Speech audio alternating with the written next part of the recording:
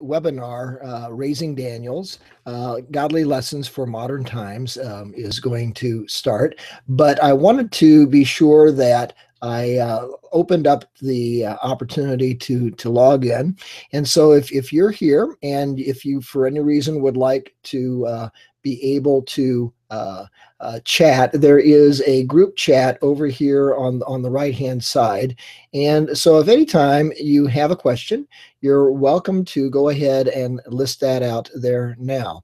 And so uh, later today, after the broadcast is done, uh, what I'm going to do is I'm going to send out an email with a replay link. So if anybody was, uh, for whatever reason, not able to log in, then you'll be able to, to get in. So I'm just going to simply um, uh, work on a couple of things here for the next couple of minutes. And in the meantime, uh, hopefully you can relax, get yourself a Coke, a cup of coffee, or what have you. And uh, we'll start very soon in a couple of minutes. Again, my name is David Lantz. I appreciate having you here.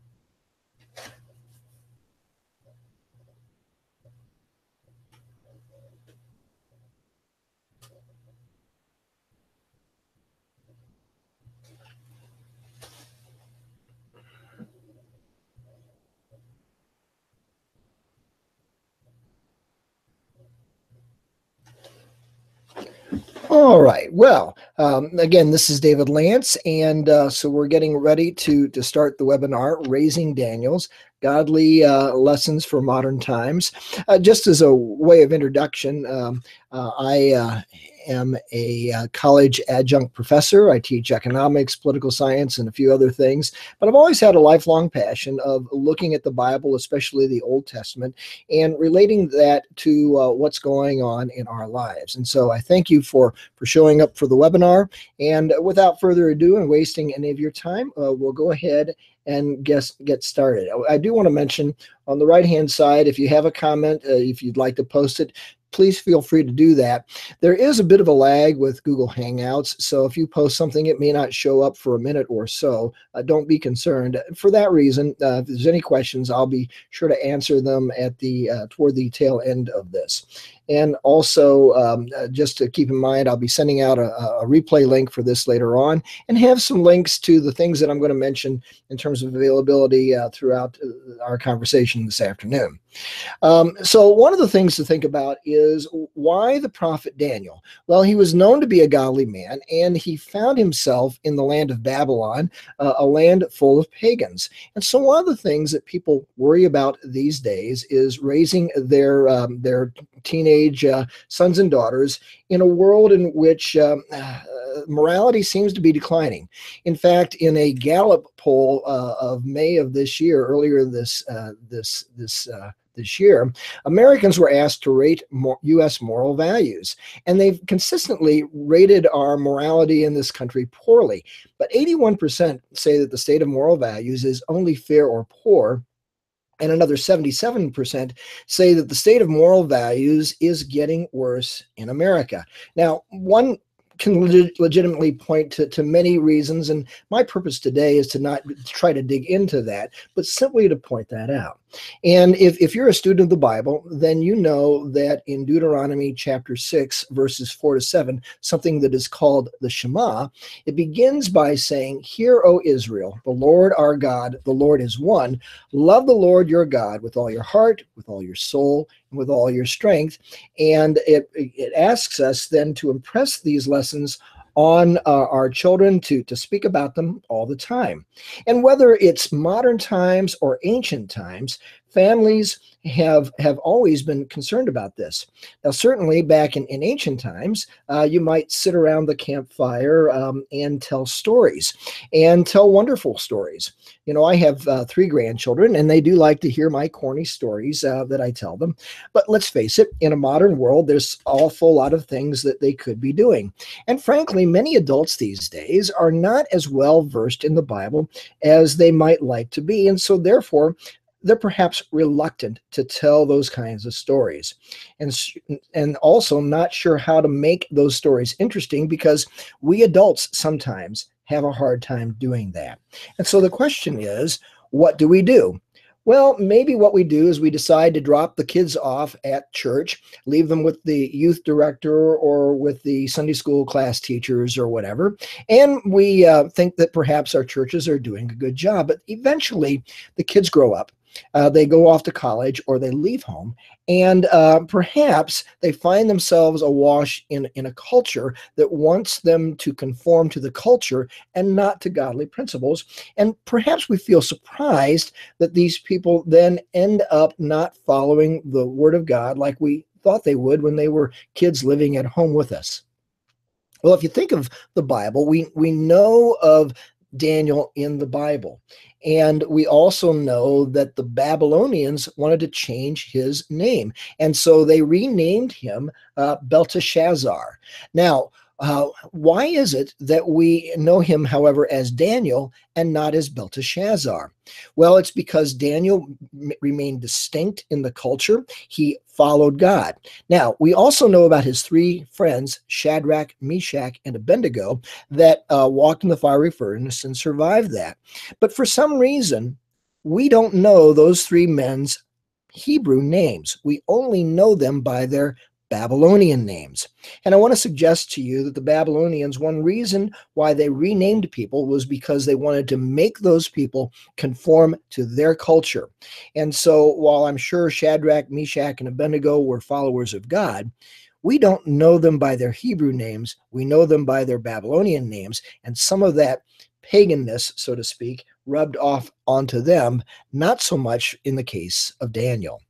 And so uh, maybe what we need to do is we need to look at new metaphors to help bring God's ancient wisdom alive in terms of how we can communicate the truth of the Bible in a modern age.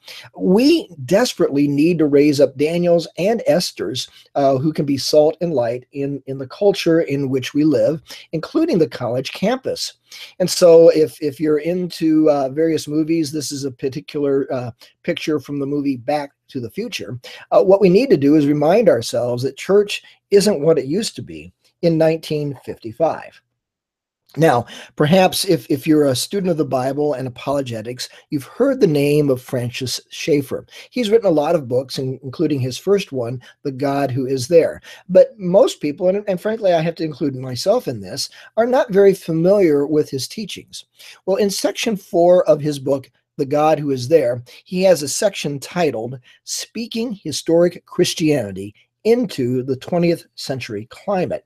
You see, even back in the 1950s and 1960s, Francis Schaeffer saw something happening in, in modern culture, in modern America, in Western Europe, that was affecting our knowledge of the Bible and how we could communicate that.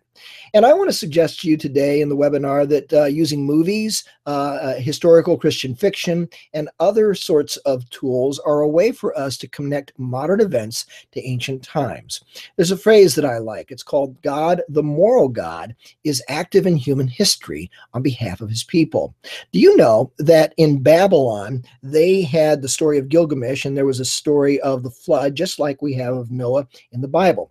In the, in the story of Gilgamesh, the flood flood lasts for seven days. And when Gilgamesh, or excuse me, when Utnapishtim uh, lights a fire to sacrifice to the gods, it says that they descended like flies to eat the sacrifice because they were so hungry. And the gods therefore decided that they would never again destroy man because they needed man to feed them, they needed man to serve them. But however, God in the Bible loved mankind punished mankind because of its sinfulness because God wanted us to be moral people. And he promised Noah and his and his and his family and the descendants of not only humanity but of all flesh that he would never again do what he did in terms of the flood. Because God the moral God is active in human history on behalf of his people. That's a different type of God than any of the other ancient cultures would have ever known. So one of the things, if you hang around with me to the end of the webinar, I'm going to provide you with a link to an ebook that I've created called discovering truth at the movies. And uh, what I do is, is I have been for the last 10 years or so, been using movies and TV shows to kind of launch a conversation with the culture about God and, and ask the question, what is truth? And that question is, of course, asked by Pontius Pilate to Christ in John 18 37. And so that's a way that I have found that with younger folks, one can launch a conversation about moral values, the Bible, and current events. So here's today's agenda for the, the webinar that's going to go about a half an hour. I want to talk to three specific groups. Uh, first is um, parents and or kids in middle school or high school uh, and how one can use uh, books and assignments to have that conversation and dig into the scripture and relate it to modern events. Second, uh, I want to talk about college and post college young adults. Um, they're sort of done with doing assignments, but they like to watch movies. And the other thing to realize is that um, every year, hundreds of thousands of American college students take courses online. I teach college courses myself, and I've I've had thousands of students go through my online courses over the last uh, 14 years that I've been teaching. And so, a lot of these folks out there are used to doing an online conversation. So a question is, how can you and I engage them in something that they're already doing to continue that conversation in social media? And so uh, one of the other things then is to ask for instructors, uh, young adult uh, group leaders, or youth leaders, how can we be creative? How can we mix and match resources for either online uh, uh, resources, a course that I've created that I'll talk more about called Clash of the Superpowers? How do we teach online. So uh, let's go back then to the middle school and the uh, high school age students to talk a little bit about that. You know, um, when when I was a, a, young person eh, about middle school age, I remember that I began to get introduced to biographies, and I loved reading biographies. But what I I didn't like was those books that were just all about people, places, events, uh, dates, and stuff, more like a, a recitation of facts. What I really liked were biographies that were more of a story that really drew me into that. And so um, uh, as I got older, I, I came across other books. In particular, when I was in sixth grade, my teacher, Miss Pletcher, would read some books to us. And one book that she read was called The Bronze Bow. This is set uh, during the time of Christ, and a boy named Daniel is is tired of the Romans, and he wants to fight the Romans. And he's got this buddy who keeps telling him, that "You ought to go listen to this carpenter who's talking about love and stuff like that." And so I remember reading the book myself after uh, Miss Pletcher read it to us, and when I was a father myself, I have uh, three uh, grown children, and so I decided that I would read my students, uh, excuse me, my children, uh, that particular book. Well, as as time went by in the early 2000s, somebody decided to create a study guide that would go with that. And and so if you go out and if you Google a, a, a company called Progeny Press, you will find that they have a lot of study guides that go with books. Now, the Bronze Bow won the Newbery Award for Best in Children's Literature in 1962. I suspect they've used other uh, Newbery Awards for exactly that. And so today in homeschool communities, you see a lot of folks incorporating the, the reading of the Bronze Bow into literature studies and things of that nature. When I went on to be a college student at Butler University, I took an Old Testament literature course, and my uh, instructor there decided that he would have us read James Michener's book, The Source. Uh, this novel is set in an in a Jewish uh, tell, a dig, and it goes down from the layers from the time of Abraham up to the time of Paul. And so, for the first time, I discovered that there were temple prostitutes associated with various pagan activities. And so, for example, uh, female prostitutes would sometimes shave their heads, and so out of that recognition, uh, the the uh, um, uh, the apostles and the prophets would say, in terms of the law, that a woman should have her head covered because they knew that having a head that was bald was associated with uh, the the pagan idol worship. Another thing is that both male and female prostitutes would get tattoos. And so, again, the stricture against tattoos was because of their use in idol worship.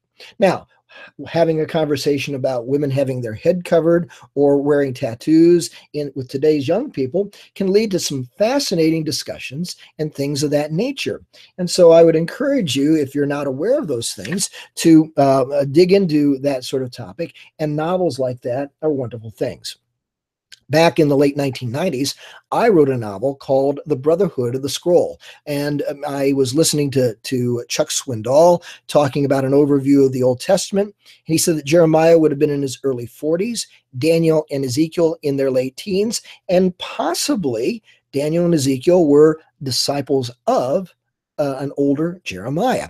And so I just took that idea, wrote a novel. At the time, I was reading Tom Clancy novels, so I wanted to make it into an international spy uh, type of thing. And so um, uh, that's what I did. But along the way, I found a lot of historical things that went with that that I wove into my novel. And so uh, along the way, I had some friends say, you know, David, you ought to think about creating school assignments and things of that nature that, go with that. Um, and so I began that process of, of doing that and want to touch on a couple of those kinds of things uh, today. Perhaps you've seen in the news recently, with all the talk about infrastructure, that the nation of China is looking at rebuilding what's known as the ancient Silk Road that Marco Polo traveled. They're calling it their One Belt, one road mega project. And I encourage you to Google that um, as I did. And I found this map, so I put it into uh, the thing. And so they're looking at uh, reconnecting the, the old Silk Road that kind of went th- along and brought you over here to China. And uh, so that's one of the things that China is looking at doing. What you may not know is that that Silk Road that Marco Polo used was also known as the Royal Road and was also a caravan site used in ancient Bible times.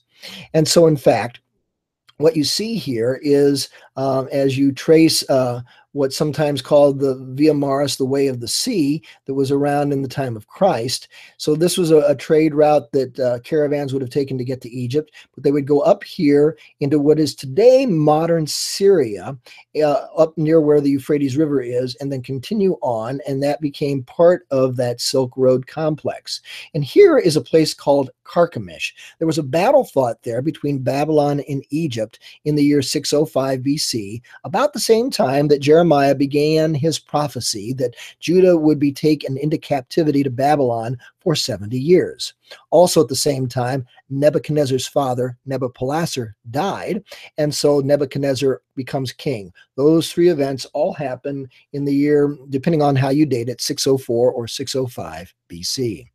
What you may not realize is that in, in the current war that's going on in Syria, there's a place called Aleppo that has pretty much been decimated. And that city of Aleppo is virtually on top of where the ancient battle and the ancient city of Carchemish is located.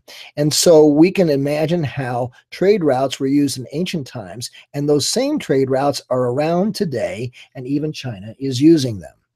So here's another thought for you. Uh, this is, goes back to that uh, uh, project from, from China. And notice that they have the trade route, and we would think of this going through what's called the Suez Canal. Well, guess what? The ancient Egyptians thought of it first.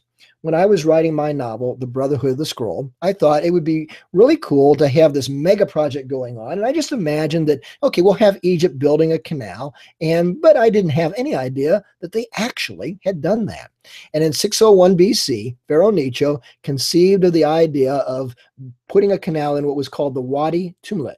So connecting a portion of the Nile River over a, a wadi, which is a shallow um, area that water flows through the Bitter Lakes down into the Red Sea. And I discovered that by looking at a book that I found in the library, Egypt, Canaan, and Israel in Ancient Times. And I also found a website from which this particular uh, image is taken, where they had everything about ancient Egypt. And for me, it was a fascinating time as I put together the plot line in my novel. Well, as I mentioned, I had a homeschool parent who encouraged me to look at putting this into a lesson format. And so this is one of the lessons that comes from my uh, course, Clash of the Superpowers, where they would read the first three chapters in the novel. And then they would also uh, have a, uh, a lesson from the, the booklet Clash of the Superpowers. They'd have some vocabulary and matching and short essay uh, quiz assessments. And depending on if there was a high school age group, they might have an essay assignment. And also, there were various scripture lessons uh, that they would read. And I would encourage you to, to write down for a later reading uh, after this webinar Jeremiah chapter 25 and from 35 and 36, and also from chapter 46. And, and so that would give you some historical background of what's going on then. And then read the story of Daniel in chapter 1 and Esther in chapter 4, and think about the moral problems that they would have faced in those ancient times. Uh, imagine an assignment where you have to do a, a, a paper on trade routes used in an ancient model modern times, and then also look at uh, issues with regard to discussion questions that relate to all of that. Well, at any rate, uh, I developed uh, the the course back in 2014, and so uh, that went on to uh, uh, be something I call Clash of the Superpowers. And towards the end of the sem- uh, webinar, I'll give you a coupon code that you can use to get 50% off on that particular course. And so let's move on to talking about college and post-college age young people. one of the things that we realize is that uh, it's important to try to engage them in a conversation about biblical truth. Uh, but sometimes that's hard to do. What I've discovered is the use of movies is a great way to do that. And so perhaps uh, you've seen a movie called Knowing. It stars Nicolas Cage, and he is an astrophysicist in that movie. And if you were to go on YouTube later on and, and look for a scene called Determination versus randomness. Uh, there's about a two and a half minute video where he's talking about are things kind of already planned out, or is everything in the universe random? Now, I encourage you if you if you uh, are into this sort of thing to watch the entire movie, knowing, but be sure that before you read it, you read Second Peter chapter three verses ten to thirteen, because the ending of that movie is an awful lot like what Peter discusses there in in Second Peter chapter three. Well, um, movies are something that we can use. Um, what did the ancients do? Did they have anything similar that they might have used to have a conversation about God? Well, in Acts chapter 17, verse 28, Paul quotes from the Sicilian poet, poet Erastus, Herodotus. And Herodotus was a, a, a person who lived around 300 BC, and he wrote something called the poem of Zeus. Now, this was a poem uh, that uh, Paul quotes in Acts 17 28. You see, Paul used his knowledge of Greek culture to explain the gospel to those uh, people in metaphors that they could understand. And so if you read Romans 16 20, you'll see that it says, The God of, of peace will soon crush Satan under your feet. Well, again, the Greeks would have realized that their hero Hercules, the constellation Hercules, sometimes in the northern sky has his foot resting above the head of Draco, uh, and that represents one of the stories from the 12 labors of Hercules. And so they would have been very familiar with this sort of thing. And so Paul used the story of the stars to, to relate the gospel message to them. This helps us then to understand better what Paul writes in first uh, in Romans chapter 1 verses 18 to 19 where he says for the wrath of God is revealed from heaven against all ungodliness and wickedness of those who by their wickedness suppress the truth. For what can be known about God is plain to them because God has shown it to them. And so we see that Paul and the other uh, uh, uh prophets and so forth use the language of the culture to communicate um, a concept of a Hebrew or Jewish God to a uh, first a Greek and then to a Roman mind. Well, one of the things that I do on a monthly basis is I write a newsletter called Conversations with the Culture. And so what I do is I take movie scenes and I usually make a meme uh, like this one. This is from uh, the movie The Matrix, uh, where it's the famous uh, choice do I choose the red pill or the blue pill? And uh, so, uh, one of the things to realize that in that movie, right after it, uh, Neo, um, who is the character there in, in the sunglasses, is sucked out of an incubator sort of thing and into a, a, a tub of water. It's sort of like being born again. And so, if you're a uh, familiar with the movie, then you realize that this idea of being born again is a natural follow on to the decision to choose the red pill and see how deep the rabbit hole goes.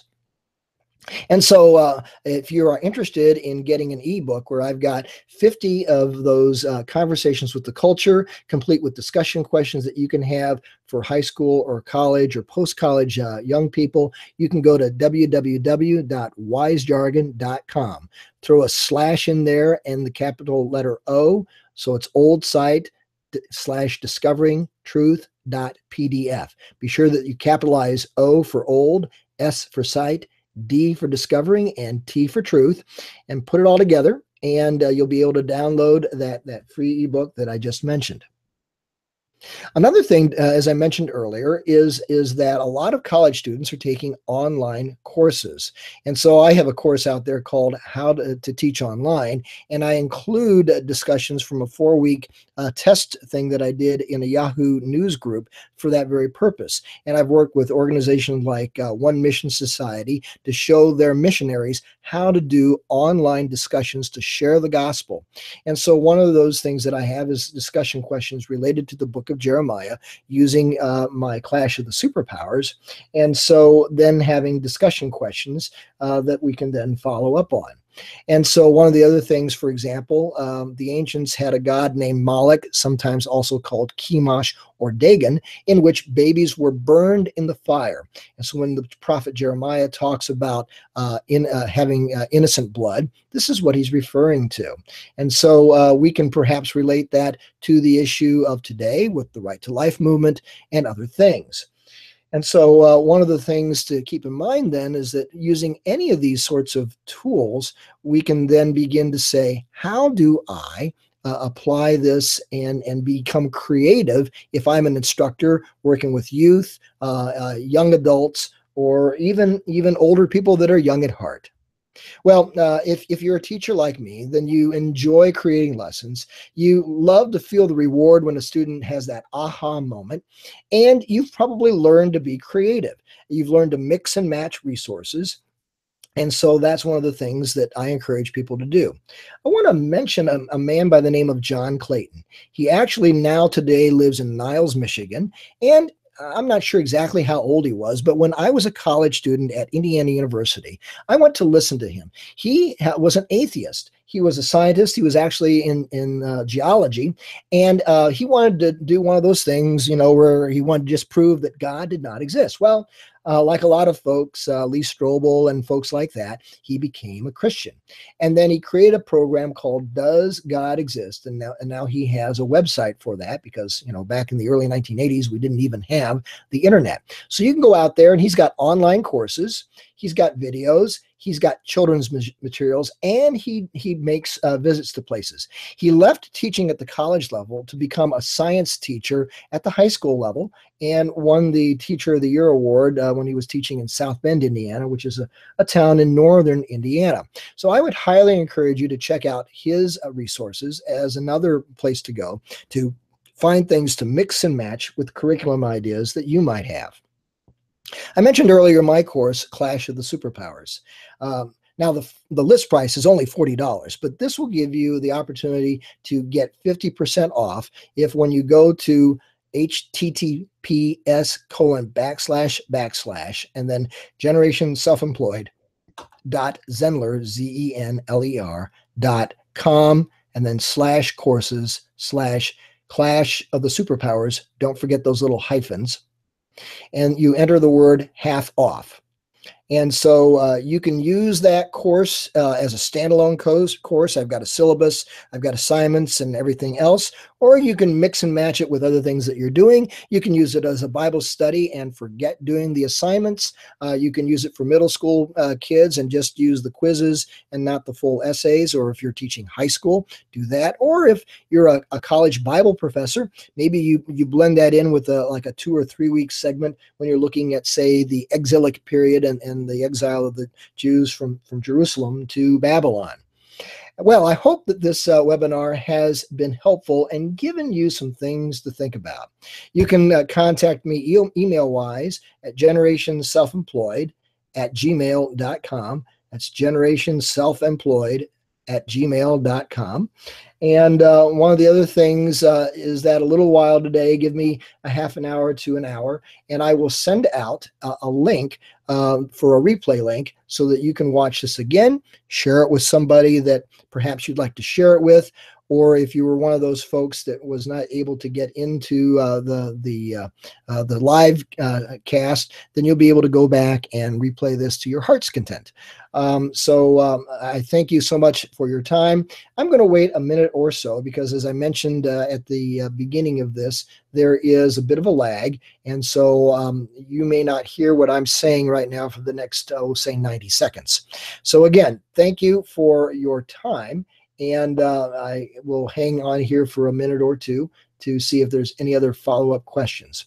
Oh, one person did have a, a, question, and and that is in the video I mentioned uh, that um, uh, Shadrach, Meshach, and Abednego kind of got absorbed by the culture, and they and and so on. What I meant by that was simply not that they didn't follow God, but because we know them by their Babylonian names, they became absorbed by that pagan culture.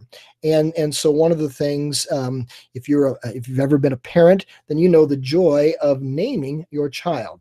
And you want to pick a name that you think will reflect their character and their personality God changes the name of Hoshea to Joshua, which goes from meaning salvation, that's what Hoshea meant, to Joshua, which means the Lord is salvation.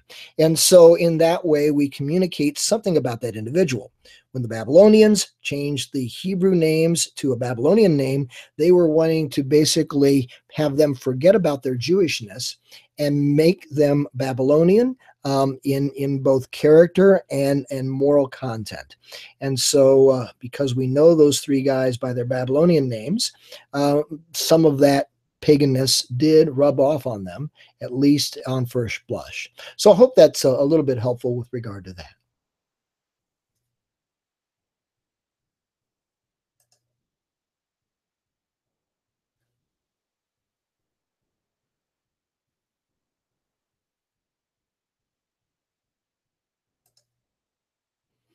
Now you get to see a little bit what I actually look like uh, in real life.